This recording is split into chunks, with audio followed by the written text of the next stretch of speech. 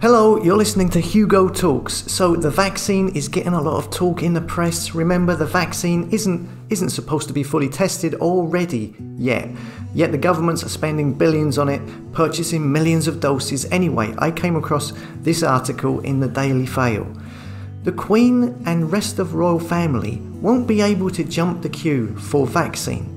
Rich people will be banned from buying jab, and even Boris he will have to wait his turn.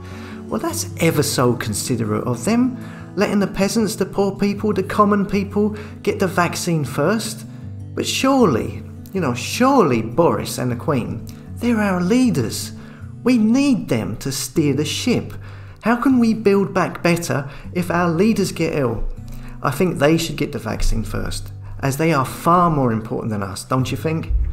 It says here, senior government source has said there will be no special treatment in jab rollout for the British monarchy. Guidance previously said care home residents and their carers will be top of list followed by people over 80.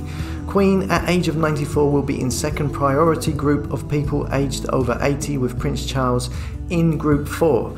Now, I've heard reports from another journalist and I can't verify this, but some schools in Ireland have been visited by the HSE which is Ireland's NHS basically.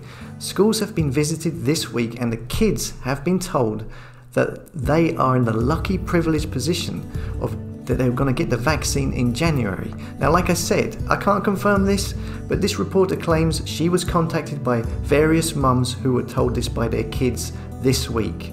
Now, if that is true, that's the opposite of what they are saying. Surely kids in school would be the last to be offered the jab. So I don't know. I'm going to look into this a little bit more and see what that is all about. But anyway, back to the article. I'd just like to say I'm very happy for the elite, the politicians, and the royals to all get the jab first. It's not a problem for me. I mean, come on. When has the elite of society ever had to join a queue behind common people for anything beneficial? But here we have this peasants first attitude. As always, thanks for listening. Don't forget to like, comment, and subscribe. Press the notification bell if you want to be notified in the future when I upload videos.